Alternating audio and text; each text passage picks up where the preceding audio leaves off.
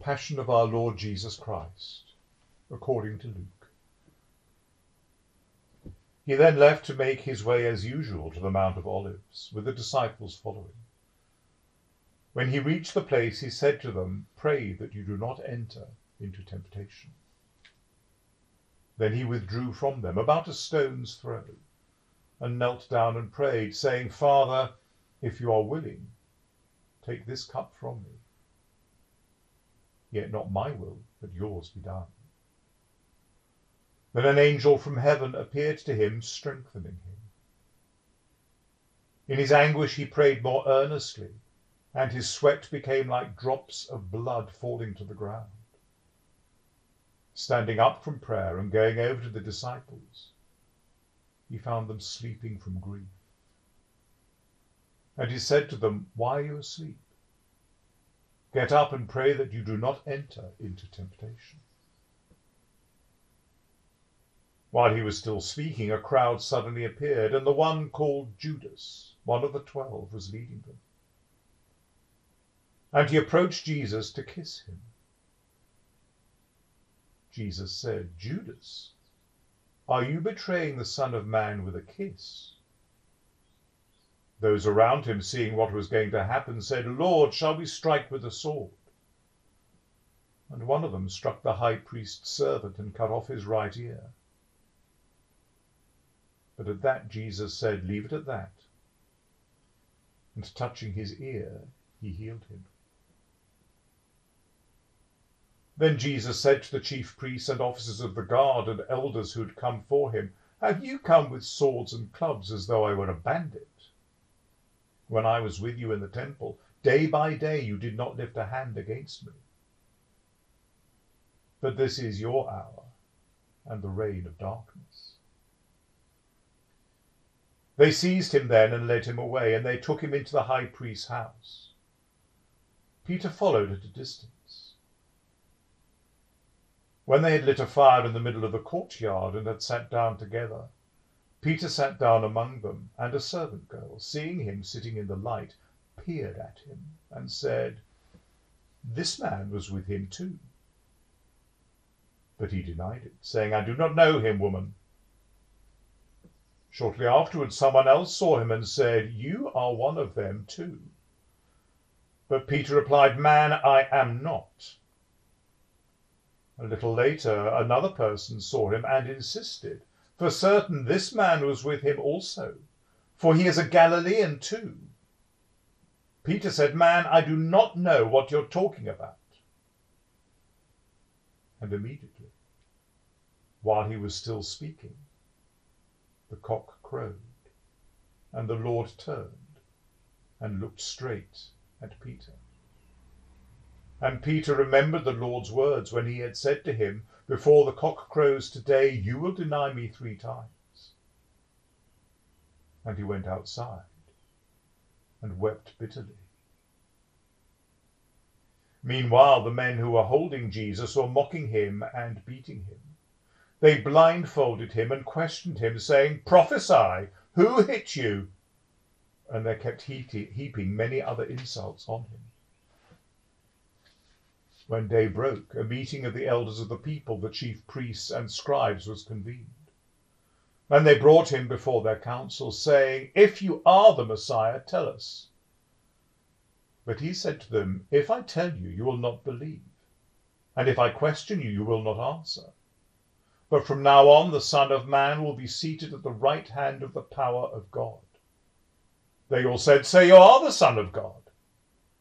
He answered, You say that I am. Then they said, Why do we still need any evidence? We have heard it ourselves from his own lips. The whole gathering then rose and brought him before Pilate. They began to accuse him, saying, We found this man inciting our people to revolt, forbidding payment of taxes to Caesar, and claiming to be the Messiah, a king. Pilate asked him, Are you the king of the Jews?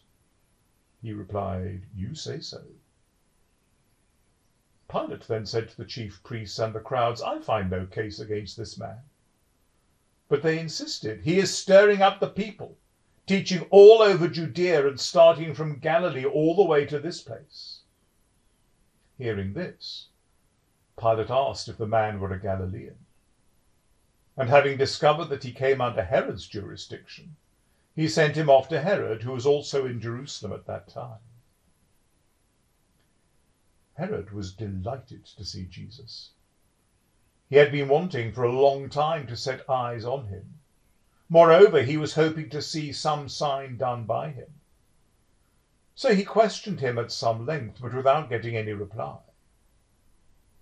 Meanwhile, the chief priests and the scribes were there, vehemently pressing their accusations. Then Herod, together with his guards, treated him with contempt and made fun of him. He put a rich cloak on him and sent him back to Pilate. And Herod and Pilate became friends that day, though formerly they had been at enmity with each other. Pilate then summoned the chief priests and the leading men and the people and said to them, You brought this man before me as inciting the people to revolt. See, I've examined him in your presence and found no case against this man in any of the charges you bring against him. Neither has Herod, since he has sent him back to us. See, he has done nothing that deserves death. So I shall have him beaten and release him. But as one man they all howled, Take this man away. Release Barabbas for us. This man had been thrown into prison because of a riot in the city and murder. Again Pilate addressed them, wanting to release Jesus again. But they swelled their shouting, Crucify! Crucify him! And for a third time he spoke to them, But what evil has this man done? I have found no case against him that deserves death, so I shall have him beaten and release him. But they insisted, demanding at the top of their voices that he should be crucified. And their voices prevailed. Pilate then gave his verdict that their demand was to be granted. He released the man they asked for, who had been imprisoned for riot and murder, and handed Jesus over to them as they wished.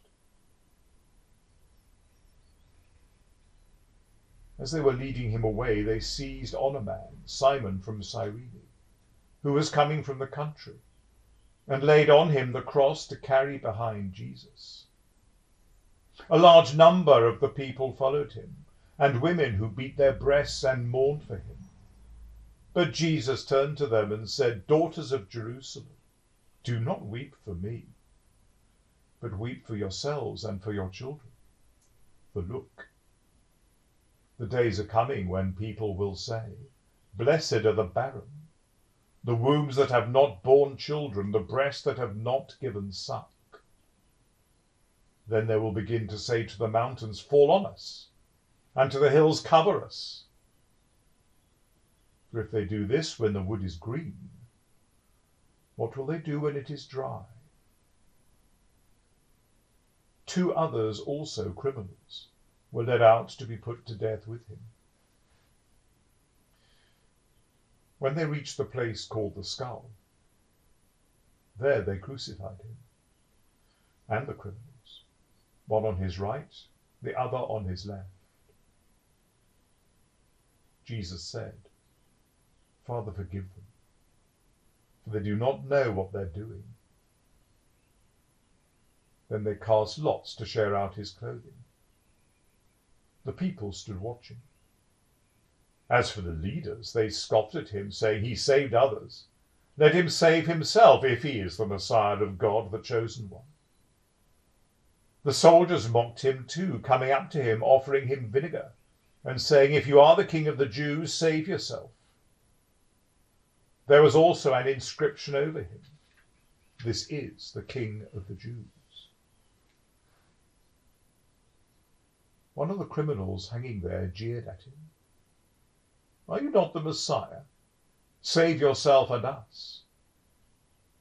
But in reply, the other rebuked him, saying, Do you not fear God, since you are under the same sentence, and we justly?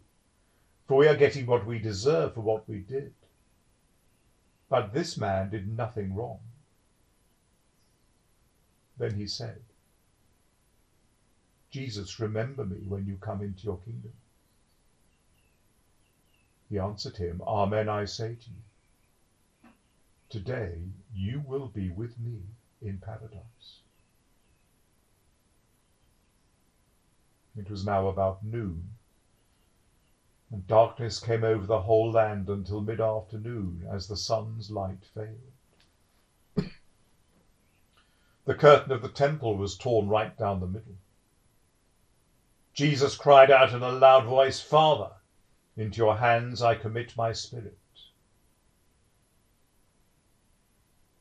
Having said this, he breathed his last. When the centurion saw what had taken place, he gave glory to God and said, Truly, this was a just man. And when all the crowds who had gathered for the spectacle saw what had happened, they went home beating their breasts.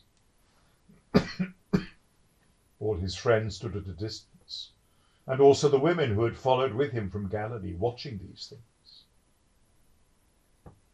Now a man named Joseph, a member of the council, a good and righteous man, had not agreed with their plan and their action. He came from Arimathea, a Jewish town, and was awaiting the kingdom of God. This man approached Pilate and asked for the body of Jesus.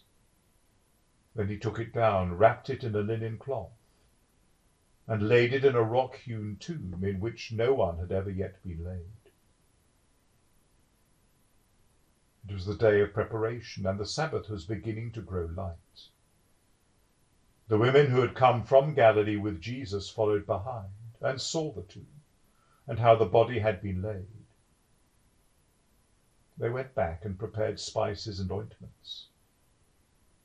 And on the Sabbath day they rested, in accordance with the commandment.